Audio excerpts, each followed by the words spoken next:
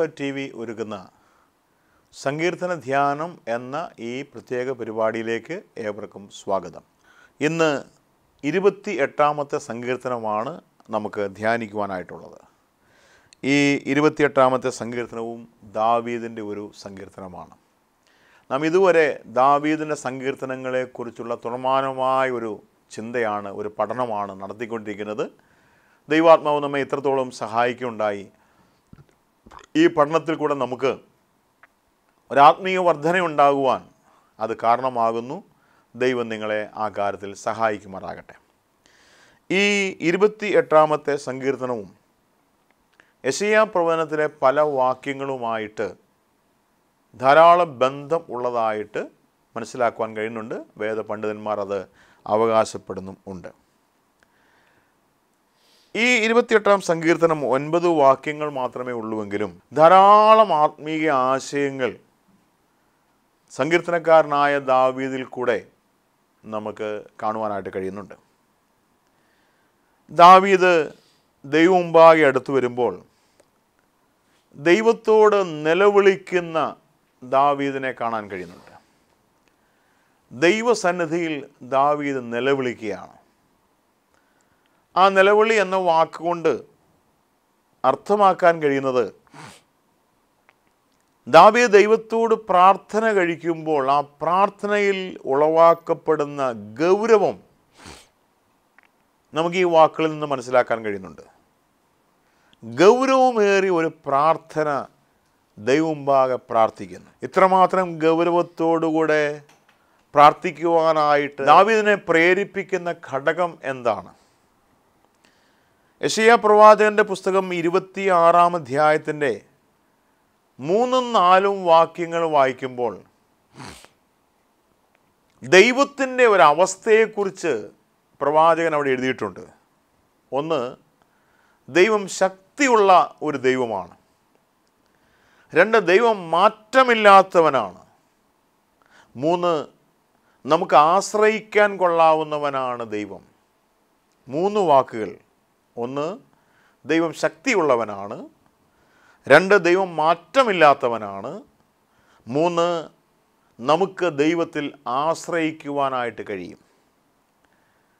ഉപ- ഇവിടെ ഉപയോഗിച്ചിരുന്ന ഒരു വാക്ക് അല്ലെങ്കിൽ ഒരു ഒരു വാചകം ഇങ്ങനെയാണ് ഇരുപത്തിയെട്ടാം സങ്കീർത്തനത്തിൽ എന്റെ പാറയായുള്ളവേ എന്റെ പാറ. ദൈവത്തെ പാറ എന്ന് വിശേഷിപ്പിച്ചിരിക്കുന്ന പല സന്ദർഭങ്ങളുണ്ട്. യശയാ പ്രവണത്തിലും അതേ വാക്കുണ്ട്. യഹോവയാം യാഹിൽ ശാശ്വതമായ ഒരു പാറ ഉള്ളതിനാൽ യഹോവയിൽ എന്നേക്കും ആ ആഗ്രഹിപ്പിനെന്ന് ഇരുപത്താറാം അധ്യായത്തിൽ നമുക്ക് വായിപ്പാൻ കഴിയുന്നുണ്ട്. എന്നാൽ ഈ പാറയുടെ അനുഭവം അത് ശക്തിയുള്ളതാണ്. അതിന് മാറ്റമില്ലാത്ത അനുഭവമുള്ളത് ആശ്രയിക്കാൻ കൊള്ളാവുന്ന ഒരു അനുഭവമാണ് ഈ പാറയ്ക്കുള്ളത്. അതുകൊണ്ട് ദാവീദിന്റെ മുമ്പിൽ ദാവീദ് കാണുന്ന ഈ വസ്തുതയെ മുൻനിർത്തിക്കൊണ്ട് ദൈവത്തോട് അഭയാചന കഴിക്കുകയാണ് ദാവീദ്. ഇവിടെ ശ്രദ്ധിക്കുക ഉപയോഗിച്ചിരിക്കുന്ന ഒരു വാക്ക് എന്റെ പാറയായല്ലോവേ നീ കേൾക്കാതിരിക്കരുത്. ഞാൻ ആ വാക്കൊന്ന് പരിശോധിപ്പാനിടയായി. എന്താ അവിടെ ദൈവാത്മാവ് അർത്ഥമാക്കുന്നത്? വിശുദ്ധ കരങ്ങളെ ഉയർത്തിക്കൊണ്ട് വിശുദ്ധാന്തർ മന്ദിരത്തിലേക്ക് നോക്കിക്കൊണ്ട് ദാവിദ് പ്രാർത്ഥിക്കുകയാണ് എന്റെ പാറയായുള്ളവേ ഞാൻ വിളിക്കുമ്പോൾ അല്ലെങ്കിൽ ഞാൻ ഞാൻ നിന്നോട് കരയുമ്പോൾ നീ കേൾക്കാതിരിക്കരുത്. ഞാൻ നിന്റെ മുഖത്തേക്ക് നോക്കി ഞാൻ നിലവിളിക്കുമ്പോൾ നീ കേൾക്കാതിരിക്കരുത്. അവിടെ ഉപയോഗിച്ചിരുന്ന ഒരു വാക്കുണ്ടോ നീ മിണ്ടാതിരുന്നിട്ട് ഞാൻ കുഴിയിൽ ഇറങ്ങുന്നവരെ പോലെ ആകാതിരിപ്പാൻ തന്നെ. നിന്നോട് ഞാൻ നിലവിളിക്കുന്നു. ഞാൻ നിലവിളിച്ചിട്ട് നീ കേൾക്കാതിരിക്കരുത്. ഞാൻ കുഴിയിൽ ഇറങ്ങിപ്പോകുന്നവരെ പോലെ ആയിത്തീരരുത്. എന്ന് വെച്ചാൽ ഞാൻ പ്രാർത്ഥിച്ചോ? ഞാൻ പ്രാർത്ഥിച്ചു. പക്ഷെ പിന്നെ ഞാൻ കുഴിയിലേക്ക് ഇറങ്ങി പോവുകയാണെങ്കിൽ അതിന്റെ അർത്ഥം എന്താ? ഞാൻ പ്രാർത്ഥിച്ചിട്ട് നീ കേട്ടില്ല എന്നാണ് അതിന്റെ അർത്ഥം വരുന്നത്. അങ്ങനെ ആ മറ്റുള്ളവർ എന്നെക്കുറിച്ച് ചിന്തിക്കുന്നത് അതിനിടയുണ്ടാകരുത്. ഞാൻ പ്രാർത്ഥിച്ചിട്ട് അല്ലെങ്കിൽ ഞാൻ നിന്നിൽ ആശ്രയിച്ചിട്ട് ഞാൻ നിന്നോട് നിലവിളിച്ചിട്ട് നീ കേൾക്കാതിരിക്കരുത്. നീ കേൾക്കണം നീ പ്രതികരിക്കണം. ഇന്ന് രാവിലെ പ്രിയപ്പെട്ടവരെ ദൈവത്തെ ദൈവസന്നിധിയിൽ കടന്നു വന്നിട്ട് ആ നിലവിളിക്ക് ഒരു രൂപഭംഗിയോ ഒരു വ്യാകരണമോ അല്ലെങ്കിൽ ഒരു വാചകങ്ങളുടെ ഘടനയോ ഒന്നുമല്ല ദാവീദ് അർത്ഥമാക്കുന്നത്. കർത്താവിനോട് പറയുന്ന വാക്ക് ഹൃദയത്തിൽ നിന്നും പറയുന്ന വാക്കുകൾ. നീ കേൾക്കാതിരിക്കരുത്. നീ കേൾക്കാതിരുന്നിട്ട് ഞാൻ കുഴിയിറങ്ങി കുഴിയിൽ ഇറങ്ങി പോകുന്നവരെ പോലെ ആയിത്തീരരുത്. എന്ന് വെച്ചാൽ നീ കേൾക്കണം. നീ പ്രതികരിക്കണം. ഇന്ന് അനേക പ്രാർത്ഥനകൾ അനേക നിലവിളികൾക്ക് ദൈവം പ്രതികരിക്കാനില്ല. ദൈവത്തിന് പ്രതികരിക്കാൻ കഴിയുന്നില്ല. പ്രിയപ്പെട്ടവരെ ശ്രദ്ധിക്കുക. എന്റെ പ്രാർത്ഥന ദൈവമുമ്പാകെ എത്താതെ പോകുന്നു. എന്റെ നിലവിളിക്ക് ദൈവം ചെവി ചായിക്കുന്നില്ല. ദാവി ദൈവത്തിൽ പറയണം അങ്ങനെ സംഭവിക്കരുത്. അങ്ങനെ സംഭവിക്കരുത്. മറ്റൊരു കാര്യം എന്നെ വളരെയധികം സ്വാധീനിപ്പാണ്ടെ കൊണ്ടും ഇടയായി തീർന്നത് രണ്ടാമത്തെ ആശയമായിട്ട് ഞാൻ ഇങ്ങനെ പറയട്ടെ. ദുഷ്ടത പെരുകി വരുന്നത് കൊണ്ട് ദാവീദിന്റെ ഹൃദയത്തിന്റെ ഭാരം ദാവീദ് വ്യക്തമാക്കാൻ താല്പര്യപ്പെടുന്നു. ദാവീദിന്റെ കണ്ണുകളിൽ താൻ കാണുന്നത് തനിക്ക് ചുറ്റും കാണുന്നത് ദുഷ്ടത നിറഞ്ഞിരിക്കുന്ന ഒരു സാഹചര്യമാണ്. തന്നോട് കൂടെയുള്ളവരുടെ ദുഷ്ടത ശത്രുക്കളായവരുടെ അപ്രതീക്ഷിതമായ സ്ഥാനങ്ങളിൽ നിന്നും ഉയർന്നു വരുന്ന ഈ ദുഷ്ടത കാണുമ്പോൾ വാസ്തവമായി ദാവീദിന്റെ ഹൃദയം ഭാരപ്പെടുക ആ ഭാരം ദാവീദിന് താങ്ങാവുന്നതിനേക്കാൾ അപ്പുറമാണ്.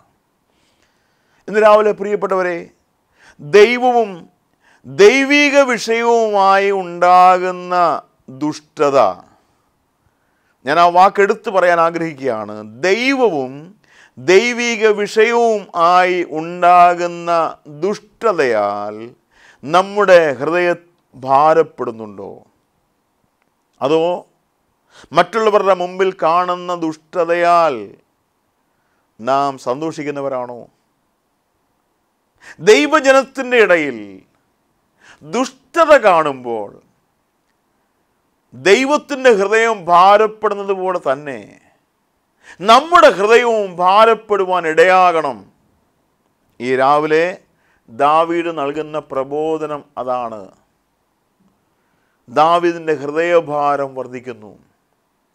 ചുറ്റുമുള്ളതായിരിക്കുന്ന ദുഷ്ടതയുടെ പ്രവർത്തനങ്ങൾ കാണുമ്പോൾ ആത്മീക ജീവിതത്തിലും അല്ലാതെയുമുള്ളതായിരിക്കുന്ന അനുഭവങ്ങളിൽ ദുഷ്ടത വെളിപ്പെടുമ്പോൾ ഈ ദാവീദ് എന്ന ഭക്തന്റെ ഹൃദയത്തിന്റെ ഭാരം വർദ്ധിക്കുന്നു. ഇന്ന് രാവിലെ ഞാൻ ഈ വാക്കുകൾ പറയുമ്പോൾ എന്റെ ഹൃദയത്തെ ഭരിക്കുന്ന ഒരു ചിന്തയുണ്ട്. നമ്മുടെ ഹൃദയവും ഭാരപ്പെടുന്നുണ്ടോ? ദൈവവും ദൈവവിഷയവുമായ വിഷയങ്ങളിൽ നമ്മുടെ ഹൃദയം ഭാരപ്പെടുന്നുണ്ടോ? മറ്റുള്ളവരുടെ ദുഷ്ടത കാണുമ്പോൾ പ്രിയപ്പെട്ടവർ ഒരു കാര്യം വളരെ ശ്രദ്ധിക്കണം. നാം അങ്ങനെ കാണുന്നവരാണെങ്കിൽ ആ ഹൃദയഭാരമുള്ളവരാണെങ്കിൽ നമുക്ക് ദൈവമുമ്പാകെ നിലവിളിക്കാൻ കഴിയണം. നമുക്ക് ദൈവത്തോട് അഭയയാചന കഴിക്കാൻ കഴിയണം. നാം ദൈവമുമ്പാകെ അടുത്ത് വന്ന് നാം നിലവിളിക്കുന്നവരാകണം. ദൈവമേ ദൈവമേ അവരുടെ ദുഷ്ടതയ്ക്ക് തക്കവണ്ണം അവരോട് ചെയ്യണമേ. ദുഷ്ടത ചെയ്യുവാൻ നിന്റെ ജനത്തിനിടയാകരുതേ എന്ന് ദൈവത്തോട് അപേക്ഷിക്കുന്നവരായിരിക്കണം. ദാവീദ് പറയാണ് ദൈവത്തിനും ദൈവിക പ്രമാണങ്ങൾക്കും വില കൽപ്പിക്കുന്നില്ല ഈ ദുഷ്ട ഈ ദുഷ്ടന്മാർ. ദൈവത്തിനും ദൈവത്തിന്റെ പ്രമാണങ്ങൾക്കും വില കൽപ്പിക്കാതെ പോകുന്ന ദുഷ്ടത. ആ വാക്കുകളുടെ ഗൗരവം വളരെ വലുതാണ്. ഞാൻ ഇന്ന് രാവിലെ ഓർമ്മിപ്പിക്കട്ടെ ദൈവത്തിന്റെ വചനത്തിന് ദൈവത്തിന്റെ പ്രമാണങ്ങൾക്ക് നാം എത്രമാത്രം വില കൽപ്പിക്കുന്നവരാണ്? നമ്മുടെ ജീവിതത്തിൽ ഒറ്റ ചോദ്യം. ഇന്ന് രാവിലെ ഇത്രയും സമയമായില്ലേ? ഈ തിരുവെഴുത്ത് ശ്രദ്ധയോടെ വായിപ്പാൻ എത്ര പേർക്ക് കഴിഞ്ഞു? ഇത് ദൈവത്തിന്റെ അരുളപ്പാടാണ്. ഇത് ദൈവത്തിന്റെ പുസ്തകമാണ്. ദൈവത്തിന്റെ വാക്കുകളാണിത്. ഈ ലോകത്തിലെ ദുഷ്ടതയുടെ മധ്യത്തിൽ ഈ പ്രമാണങ്ങളെ മുറുകെ പിടിച്ച് ജീവിക്കുവാൻ ദൈവം നമുക്ക് അവസരം നൽകി തന്നിരിക്കുകയാണ്. ദൈവത്തിന്റെ വചനത്തോട് കാണിക്കുന്ന അവിശ്വസ്തതയാണ് ചുറ്റുവട്ടത്ത് കാണാൻ കഴിയുന്നതെങ്കിൽ ദാവീദ് പറയാണ് ദൈവത്തിനും ദൈവത്തിന്റെ പ്രമാണങ്ങൾക്കും വില കൽപ്പിക്കാൻ കഴിയാത്ത ഒരു കൂട്ടം ദുഷ്ടന്മാർ. ആ ദുഷ്ടതയെ ഓർത്ത് നിലവിളിക്കുവാൻ കഴിയുന്ന ഒരു ദൈവഭക്തൻ പ്രിയപ്പെട്ടവരെ ഇത് നമ്മുടെ അനുഭവം ആറേണ്ടതല്ലേ നമ്മുടെ അനുഭവമല്ലേ ഇത്? നമുക്ക് ദൈവ ദൈവമുമ്പാകെ നിലവിളിക്കാൻ കഴിയുന്നുണ്ടോ? നമുക്കങ്ങനെ ഇടയായി തീരണം എന്ന് നമ്മെക്കുറിച്ച് ദൈവം ആഗ്രഹിക്കുന്നു. അഞ്ചാമത്തെ വാക്യം വരുമ്പോൾ ഇവരോട് ദൈവം എന്താ ചെയ്യുന്നത്? ഈ ദുഷ്ടതയുടെ മധ്യത്തിൽ ഈ പ്രതികൂലങ്ങളുടെ മധ്യത്തിൽ ദൈവം അവരോട് ചെയ്യുന്ന ചെയ്യുവാൻ താല്പര്യപ്പെടുന്നതായ ചില കാര്യങ്ങളെക്കുറിച്ച് ദാവീദ് പറയുന്നുണ്ട്. അതിന്റെ അഞ്ചാമത്തെ വാക്കത് ഇങ്ങനെ വായിക്കുന്നു. ഞാൻ ആ വാക്യമൊന്ന് വായിക്കാം. യഹോവയുടെ പ്രവൃത്തികളെയും അവന്റെ കൈവേലയും അവർ വിവേചിക്കായിക കൊണ്ട് അവൻ അവരെ പണിയാതെ ഇടിച്ചു കളയും. ഈ രാവിലെ വളരെയധികം ശ്രദ്ധിക്കേണ്ട ഒരു വാക്യത്തിലേക്ക് നാം കടന്നു വന്നിരിക്കുകയാണ്. യഹോവയെയും യഹോവയുടെ പ്രവൃത്തിയെയും അല്ലെങ്കിൽ അവന്റെ കൈവേലയും അവർ വിവേചിക്കായിക ഉണ്ട്. ദൈവം ചെയ്യുന്നത് അവരെ പണിയാതെ അവരെ ഇടിച്ചു കളയും. പ്രിയപ്പെട്ടവരെ ഈ വാക്കിന്റെ ഗൗരവത്തെ നമുക്കൊന്ന് ഉൾക്കൊള്ളാം. ദൈവം ആഗ്രഹിക്കുന്ന ഒരു കാര്യം യഹോവയെയും അവന്റെ കൈവേലയെയും അല്ലെങ്കിൽ അവന്റെ പ്രവൃത്തിയെയും നാം വിവേചിച്ചറിയുക എന്നുള്ളതാണ്. നാം വിവേചിച്ചറിയുന്നില്ല എങ്കിൽ അവന് നമ്മെ പണിയുവാൻ കഴിയുകയില്ല. അവൻ ഇടിച്ചു കളയും. ആ വാക്കിന്റെ ഗൗരവം മനസ്സിലാവുന്നുണ്ടോ? ഇതിനൊരു മറുവശമില്ലേ? യഹോവയെയും അവന്റെ പ്രവൃത്തികളെയും ഞാൻ വിവേചിക്കുന്നു എങ്കിൽ അവൻ എന്നെ പണിയും. ഞാനത് വിവേചിക്കുന്നില്ല എങ്കിൽ അവൻ എന്നെ പണിയാതെ ഇടിച്ചു കളയും. ഈ രാവിലെ ആ വാക്യത്തിൽ നിന്നും എന്തെല്ലാം കാര്യങ്ങൾ നാം ഉൾക്കൊള്ളേണ്ടിയിരിക്കുന്നു. ദൈവത്താൽ പണിയപ്പെടുന്നതായ ഒരു ആത്മീക ജീവിതമാണോ നമുക്കുള്ളത്? നാം സ്വയമായിട്ട് പണിയാൻ ശ്രമിച്ചാൽ ആ പണി നടക്കില്ല ആ പണി അസ്ഥാനത്താകും. എന്നാൽ നാം- പണിയപ്പെടും ദൈവത്താൽ പണിയപ്പെടുവാൻ ഇടയാകണം. ഇന്ന് രാവിലെ എന്റെ കേൾവിക്കാരോട് ഞാൻ ആത്മാർത്ഥമായി ചോദിക്കട്ടെ നാം ദൈവത്താൽ പണിയപ്പെടുന്നവരാണോ? അതോ ദൈവം നമ്മെ പണിയാതെ ഇടിച്ചു കളയാൻ ദൈവം ആഗ്രഹിക്കുന്നുവോ? ഒറ്റ വ്യവസ്ഥയാണ് ദൈവം വെച്ചിരിക്കുന്നത്. എന്നെ ഈ വാക്യം വളരെ അത്ഭുതപ്പെടുത്തുവാനിടയായി. ഒറ്റ വ്യവസ്ഥ. യഹോവയെയും അവന്റെ കൈവേലയും വിവേചിക്കണം. അങ്ങനെ വിവേചിക്കുന്നില്ല എങ്കിൽ അവനവരെ പണിയാതെ ഇടിച്ചു കളയും. വേദപുസ്തകത്തിൽ ഏതോമിനെ കുറിച്ച് വായിക്കുന്നുണ്ട്. ഏതോം മലാഖി പ്രവാചകന്റെ പുസ്തകം വായിച്ചു വരുമ്പോൾ അവിടെ വായിക്കുന്നുണ്ട് യേശാവിനെക്കുറിച്ച് കുറിച്ച് അത് തന്നെയാണ് ഏതോം യേശാവിനെക്കുറിച്ച് കുറിച്ച് വായിക്കുമ്പോൾ വായിക്കുന്നത് എങ്ങനെയാണ്? അവർ പണിയും. അവരുടെ കൈമിടുക്കിനാൽ അവരുടെ അവരുടെ ചങ്കുറപ്പിനാൽ അവർ പണിയും. അവർ പണിയും. ഞാൻ എന്ത് ചെയ്യും? ഞാൻ ഇടിച്ചു കളയും. യഹോമയായ ദൈവം പറഞ്ഞ വാക്കാണ്. യേശാവിനോട് ബന്ധത്തിൽ അവർ ദൈവത്തിന് വിരോധമായി ദൈവത്തിന് പ്രസാദകരമല്ലാത്തതായിക്കുന്ന പ്രവൃത്തികളാൽ അവർ പണിയും. അവർ പണിതാൽ ഞാൻ അവർക്ക് ഇടി ഞാൻ അതിനെ ഇടിച്ചു കളയും. സി ദൈവത്തിന് അത് സഹിക്കാൻ പറ്റില്ല. ഇവിടെ മനസ്സിലാക്കേണ്ടതായ ഒരു കാര്യം ഞാനും നിങ്ങളും ദൈവത്തെയും അവന്റെ കൈവേലയും വിവേചിച്ചറിയുന്നവരാണോ? ഒരാത്മീക ജീവിതം ജീവിക്കുന്ന എന്റെ ശ്രോതാക്കളായവരോട് ഞാൻ ആത്മാർത്ഥമായി ചോദിക്കുന്നു. ദൈവത്തെയും അവന്റെ കൈവേലയെയും അഥവാ അവന്റെ പ്രവൃത്തിയെയും നാം തിരിച്ചറിയുന്നവരാണോ? അങ്ങനെ നാം ആ പ്രവൃത്തിയെ വിവേചിക്കുന്നെങ്കിൽ നമ്മെ അവൻ ഇനിയും പണിയും. അതല്ല എങ്കിൽ അവന് നമ്മെ പണിയാൻ കഴിയുകയില്ല. അവൻ നമ്മെ ഇടിച്ചു കളയും ആ പണി ദൈവത്തിന് താല്പര്യമില്ല ആ പണിയിൽ ദൈവം പ്രസാദിക്കുന്നില്ല. നാം പുതിയ നിയമത്തിലേക്ക് വരുമ്പോൾ ഇന്ന് സമാനമായ ഒരു ആശയമുണ്ട്. മരം പുല്ല് വൈക്കോൽ. മരം പുല്ല് വൈക്കോൽ. ഇവ കൊണ്ട് പണിതാൽ സംഭവിക്കുന്നത് ആ പണിയെ കാണാൻ കഴിയും. വളരെ ബൃഹത്തായ ഒരു പണിയായിട്ട് തോന്നാം. പക്ഷേ ദൈവം തീ കൊണ്ട് അതിനെ ശോധന കഴിക്കും. ശോധന കഴിക്കുന്ന മാനദണ്ഡം തീയാണ്. ആ തീയുടെ ശോധനയെങ്കിൽ സംഭവിക്കുന്നത് മരവും പുല്ലും വൈക്കോലും എരിഞ്ഞു പോകും. നിലനിൽക്കാൻ കഴിയില്ല നശിപ്പിച്ചു കളയും. പണിയാൻ കഴിയുന്നില്ല. നമ്മുടെ സ്വന്തം വിവേകത്തിൽ പണിയുവാനായിട്ടാണ് നാം താല്പര്യപ്പെടുന്നതെങ്കിൽ ദൈവത്തിനെയും ദൈവത്തിന്റെ കൈവേലയും അവന്റെ പ്രവൃത്തിയെയും വിവേചിക്കാതെയാണ് നാം പണിയുന്നതെങ്കിൽ അതിനെ നിലനിർത്തുവാൻ കഴിയുകയില്ല. ദൈവത്തി ദൈവം തന്നെ താല്പര്യപ്പെടുന്നില്ല. ദൈവം അതിനെ ഇടിച്ചു കളയും. ഈ രാവിലെ ഈ വാക്കുകൾ ധ്യാനിക്കുന്ന നമുക്ക് നമ്മുടെ ഒരു ചോദ്യം വരുന്നില്ലേ? നാളിതുവരെ ഞാൻ പണിതത് ദൈവത്തിന് പ്രസാദകരമായിട്ടുണ്ടോ?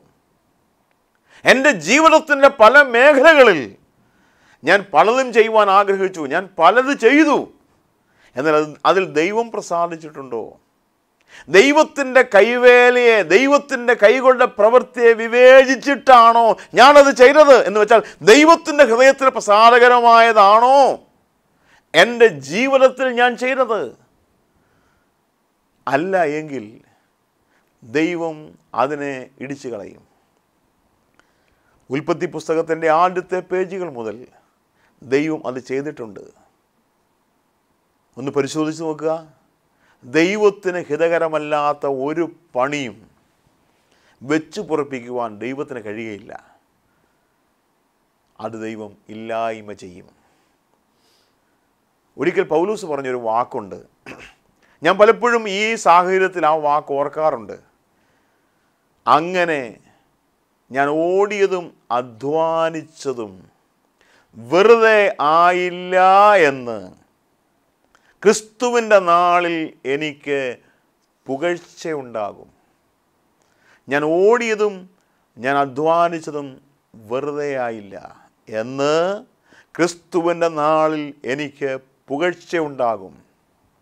ഇന്ന് രാവിലെ ഈ വാക്കുകൾ ശ്രദ്ധിച്ചുകൊണ്ടിരിക്കുന്ന പ്രിയപ്പെട്ടവരെ നമ്മുടെ ഓട്ടവും നമ്മുടെ അധ്വാനവും അതിന് ദൈവത്തിന്റെ പുകഴ്ച ഉണ്ടാകുവാൻ കാരണമാകുന്നില്ല എങ്കിൽ അത് വെറുതെയായി പോകും എന്റെ നിങ്ങളുടെയും പണി അടിസ്ഥാനമുള്ള പണിയല്ല എങ്കിൽ അത് ദൈവത്തിന് നിങ്ങളുടെ മുമ്പിൽ നിലനിർത്താൻ കഴിയത്തില്ല. അത് ഇടിച്ചു കളയും അതില്ലായ്മയായി പോകും ഒരു വാക്കൂടെ പറഞ്ഞ് ഞാൻ ആ ഭാഗം ഇവിടെ അവസാനിപ്പിക്കാം. യശയാ പ്രവാചന പുസ്തകം അൻപത്തിയെട്ടാം അധ്യായത്തിൽ അതിന്റെ പന്ത്രണ്ടാമത്തെ വാക്യത്തിൽ നാം വായിക്കുന്നുണ്ട് അവൻ നമ്മെ പണിയാൻ ആഗ്രഹിക്കുന്നു. നാം അവന്റെ പണിക്ക് ഏർപ്പെടുന്നവരായിട്ട് നാം അവന്റെ പണിക്ക് അനുകൂലത ആനുകൂല്യതയുള്ളവരായിട്ട് നമുക്ക് തീരാൻ കഴിയുന്നെങ്കിൽ അവൻ നമ്മെ അവൻ നമ്മെ ഇടിച്ചു കളയാതെ പണിയും. ആ വാക്കുകൾ എന്നെ വല്ലാതെ വല്ലാതെ ആകർഷിച്ചാക്കുന്ന വാക്കാണ്. ഞാൻ ആ വാക്യം ഒന്നും കൂടെ വായിക്കട്ടെ. അഞ്ചാമത്തെ വാക്യം യഹോവയുടെ പ്രവൃത്തികളെയും അവന്റെ കൈവേലയും അവർ വിവേചിക്കായികൊണ്ട് അവൻ അവരെ പണിയാതെ ഇടിച്ചു കളയും. എന്നാൽ ഈ സങ്കീർത്തനം അവസാനിപ്പിക്കുമ്പോൾ അതിന്റെ ഏഴും എട്ടും വാക്യങ്ങളിലേക്ക് വരുമ്പോൾ ദാവീദ് പറയാണ് യഹോവ എന്റെ ബലവും എന്റെ പരിചയം ആകുന്നു. ഞാൻ പാട്ടോടെ അവനെ സ്തുതിക്കുന്നു. എട്ടാം വാക്യം യഹോവ തന്റെ ജനത്തിന്റെ ബലമായിരുന്നു പ്രിയപ്പെട്ടവരെ യഹോവയായ ദൈവത്താൽ പണിയപ്പെടുന്ന ഒരാത്മീക സംതൃപ്തി നമുക്കുണ്ടാകണം. യെസ് എന്റെ ജീവിതത്തെ പണിയുന്ന ദൈവമാണ്. ആ ഒരു ആ ഒരു ശരിയായ അവബോധം നമ്മുടെ ഹൃദയത്തെ ഭരിക്കണം. നൂറ്റി ഇരുപത്തി ഏഴാം സംഘത്തിലെ വായിക്കണ്ടേ? യഹോവ പണിതെങ്കിൽ മാത്രമേ ഭവനത്തോട് ബന്ധത്തിൽ അവിടെ വായിക്കുന്നെങ്കിലും യഹോവ പണിതെങ്കിൽ മാത്രമേ പണിയുന്നവർ വൃഥാ അധ്വാനിക്കാൻ അധ്വാനിക്കാതെ അവിടെ വായിക്കുന്നത് യഹോവ വീട് പണിയാതിരുന്നാൽ പണിയാതിരുന്നാൽ പണി നിർവത അധ്വാനിക്കുന്ന. അവൻ പണിതെങ്കിൽ മാത്രമേ അവനോട് ചേർന്ന് നമുക്ക് പണിയാനായിട്ട് കഴിയുള്ളൂ നമ്മെക്കുറിച്ചുള്ള ദൈവത്തിന്റെ ആത്മാർത്ഥമായിരിക്കുന്ന ആഗ്രഹം. ഈ രാവിലെ ഒരു ചോദ്യം അവന്റെ നമ്മുടെ മുമ്പിൽ ഉന്നയിച്ചുകൊണ്ട് ഈ വാക്കുകളെ ഞാൻ പിന്മാറുന്നു. ആ യഹോവയായ ദൈവത്തെയും അവന്റെ പ്രവൃത്തിയെയും നാം വിവേചിക്കുന്നവരാണോ? അങ്ങനെയെങ്കിൽ നാം വിവേചിക്കുന്നവരാണെങ്കിൽ അവൻ നമ്മെ ഇടിയാതെ ഇടിക്കാതെ പണിയും. അതല്ല എങ്കിൽ അവന്റെ പ്രവൃത്തിയെയും അവന്റെ കൈവേലയും വിവേചിക്കുന്നവരല്ല എങ്കിൽ അവൻ നമ്മെ ഇടിച്ചു കളയും. അവൻ നമ്മെ ഇല്ലായ്മ ചെയ്യും. നാം അധ്വാനിച്ചെല്ലാം വെറുതെ ആയിപ്പോകും. ഈ ഒരു ചിന്ത നമ്മുടെ ഹൃദയത്തെ വാസ്തവമായിട്ട് ഭരിക്കട്ടെ. ദൈവത്തിന്റെ കൈക്ക് ഇണങ്ങിയ ആയുധങ്ങളായിട്ട് അവൻ നമ്മെ പണിയുവാൻ അത് നമുക്കും അനേകർക്കും അനുഗ്രഹത്തിന് കാരണമായി തീരുവാൻ ഈ ധ്യാനവും അതിനിടയാക്കി തീർക്കട്ടെ. അവിടുത്തെ വലിയൊരു നാമം വാഴ്ത്തപ്പെടുമാറാകട്ടെ.